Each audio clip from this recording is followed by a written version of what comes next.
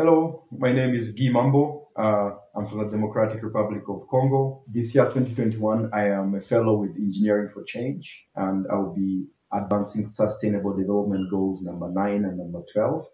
Uh, that is industry, innovation, and infrastructure, and responsible consumption and production. As an E4C fellow, I'll also be working with Habitat for Humanity, investigating circular economy and affordable housing in East Africa.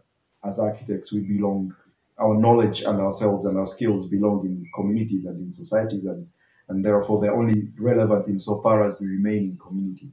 Otherwise, we'll be operating as islands and therefore would be redundant. What I think I'll accomplish uh, in this fellowship is I will increase my capacity uh, to work in a global, to work, to work remotely in a global, in global teams. Uh, but also, I think I would like to, and I aspire to add something of value to the conversation about affordable housing in sub-Saharan Africa.